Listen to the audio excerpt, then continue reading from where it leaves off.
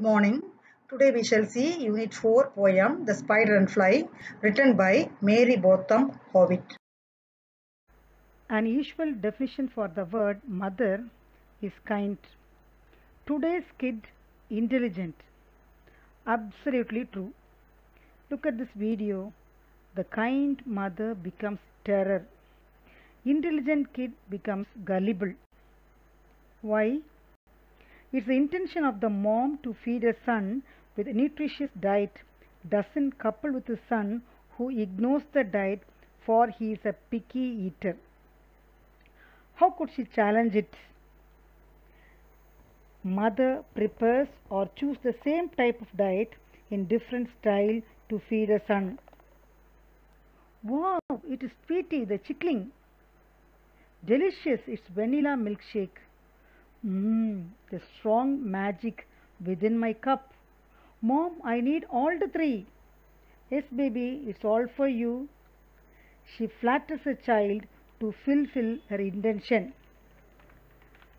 In this picture, a boy tries to flatter her girlfriend, saying that she is pretty.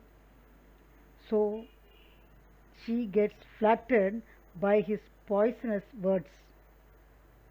Flattering is honey coated poison words. What's the meaning of pla- flattering? Honey coated poison words. Let's now see in the poem how a fly gets flattered by the spider.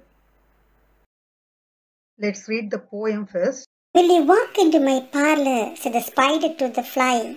Tis the prettiest little parlor that ever you did spy. The way into my parlor is up a winding stair, and I have many curious things to show when you are there. Oh, no, no, said the little fly, to ask me is in vain. For who goes up your winding stair can never come down again. I am sure you must be very dear, be soaring up so high. Will you rest upon my little bed? said the spider to the fly. There are pretty curtains drawn around, the sheets are fine and thin, and if you like to rest a while, I will snugly tuck you in. Oh no, no, said the little fly, for I have often heard it said, they never, never wake again who sleep upon your bed. Here a spider who spins his web invites a fly into his parlor. The spider's intention is to make the fly enter into his parlor and eat it. He so enthused by dazzling words and asks her to move up the winding stair and see the curious things along the way. But she says if she comes, it will end in vain as nobody has returned back. The spider pretends to be worried about her tiredness and so asked her to lie down for a nap so that he can easily tuck her. But she replies firmly that she will not enter as nobody has waken up who falls onto his bed.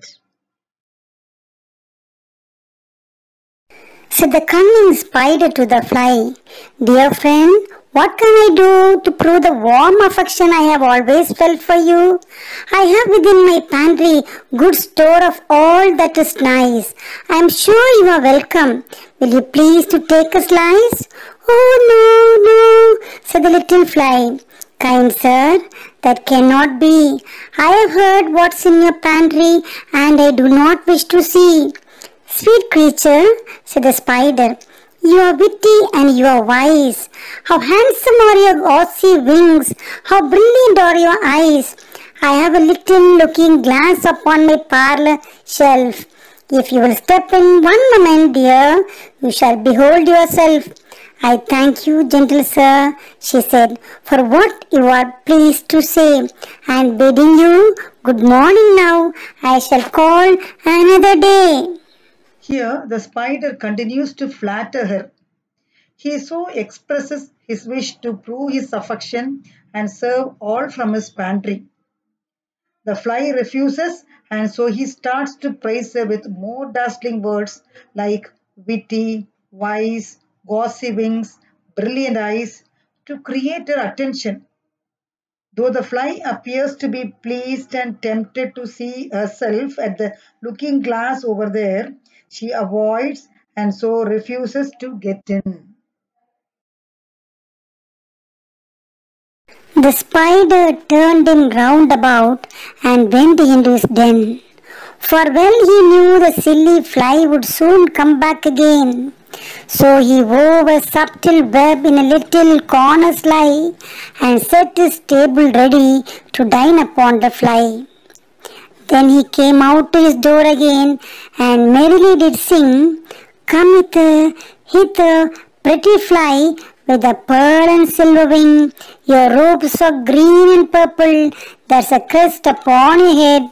Your eyes are like the diamond bright, but mine are dull as lead.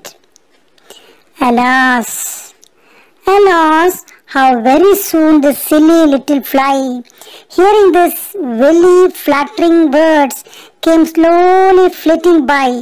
With fussing wings, she hung aloft, then near and nearer drew, thinking only of her brilliant eyes and green and purple hue, thinking only of her crested head.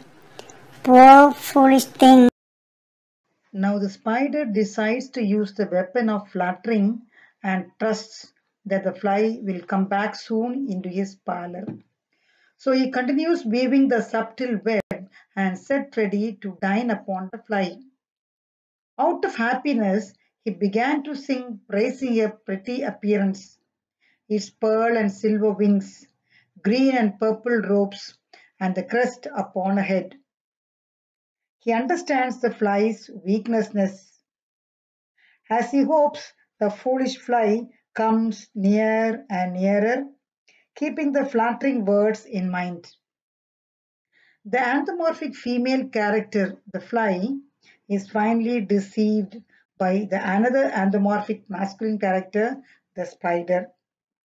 Yes, poor silly fly.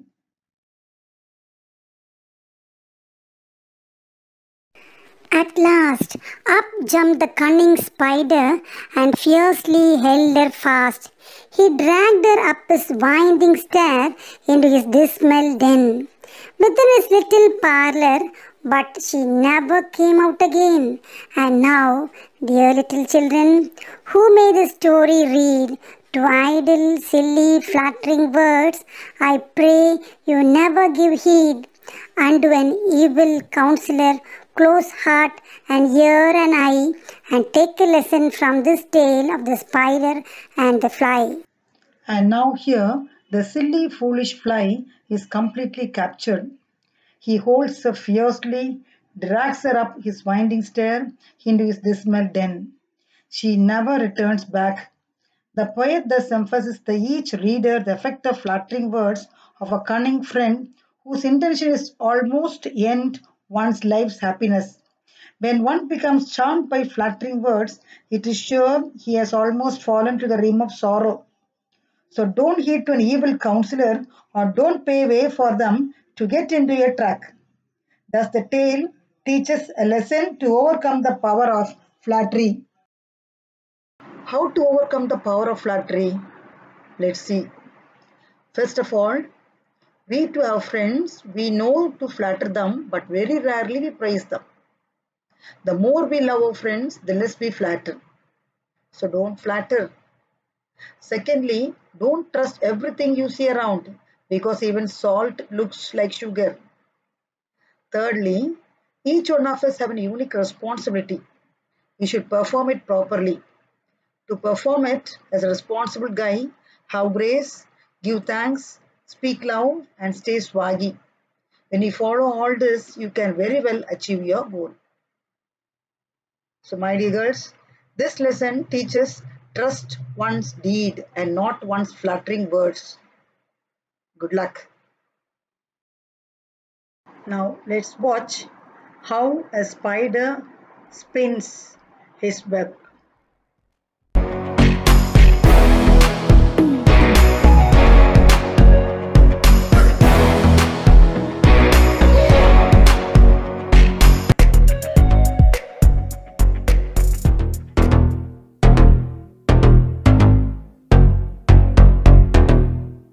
Is it's quite interesting, isn't it?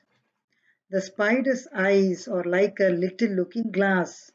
Its subtle, mysterious web has a winding stair.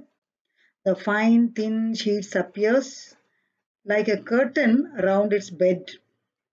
The dead flies and the insects found in the web are the curious things of its pantry. So it is understood any insects which enters into it cannot be got back alive. So it is a dismal den.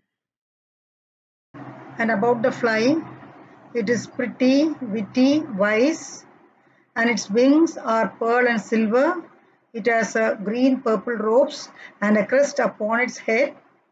It has a diamond bright eyes and it finds difficult to climb up the web as it is very wary. Next we shall see figure of speech. First one anthropomorphism. It is to endow a non-human character with human traits and behaviors. In the poem, the spider's web is described with features as in a normal human house. For example, pantry, bed, mirror, stairs. All these are features of a normal human house. But it is said the spider's web has all these things. So, a non-human character with human traits and behaviors. So, this is anthropomorphism. Second one, repetition, where words are repeated together. For example, in the line 5, oh, no, no. In line 30, come hither, hither. So, the word is repeated. So, this is called repetition. See, the same line, if words repeats, it's called repetition. Alliteration, it's a repetition of consonant sound. For example, in line 7, soaring up so high. Soaring has the consonant sound S. So has the consonant sound S. So both two times it repeats in the same line. So it is alliteration. Line 19, you are witty and you are wise. Witty has a consonant sound W. Wise has a consonant sound W. So it repeats in the same, same line. So it's called alliteration. Next is the consonance. It's a repetition of similar consonant sounds in neighboring words. So two, the two adjacent words has the repetition of the same consonant sound. Uh, consider line 2. It is, it is the prettiest little parlor. T. The consonant is consonant sound is T. It gets repeated in the adjacent words. It is T and the T. So it is consonant. So the difference between alliteration and consonance is in consonance, the adjacent words, the neighboring words has the consonant sound repetition. And in alliteration, the single line, the consonant sound gets repeated. Is it clear? Right. The next is assonance. It is a repetition of similar vowel sound. Look at the line 2. It is the prettiest little parlor. It is. The word it begins with the vowel sound I. The next word is is. Is uh, has also the vowel sound I. So that similar vowel sound gets repeated. So assonance. Similarly, line 9. Curtains drawn around. Drawn on. So A-W, the vowel sound gets repeated in the next word also. Around, around. Understand? So this is assonance, repetition of similar vowel sounds. Next is elision. It's omission of a sound or a syllable. For example, never, you are, I have, you will. So the words are written, the poetic, poetic lines is N-E apostrophe E-R. So this is called elision. Now next one is the rhyming scheme. The rhyming scheme is of A, A, B, B, C, C scheme. Thank you. See you next class. Have a nice day.